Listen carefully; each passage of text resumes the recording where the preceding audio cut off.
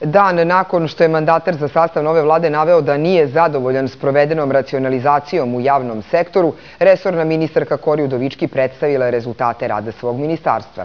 Udovički kaže da to nije odgovor na kritike premijera i odbacuje tumačenja koje su se pojavila u javnosti da je nakon izjave Aleksandra Vučića ovo bila njena oproštajna konferencija. Sam ovu konferenciju počela da spremam i videli ste i kako je spremljena, da nema nikakve veze između bilo kakvih trenutnih e, e, komentara ili tumačenja u javnosti. Ovo je jedan veliki posao i smatrali smo da treba da obeležimo da je taj posao, jedan posao završen, a jedan veliki posao tek predstoji. Hoćete li ga vi raditi, jeste pričali o tome sa premijerom? Kao što sam rekla, o tome će biti razgovora sa premijerom i sigurna sam da će javnost biti obaveštena.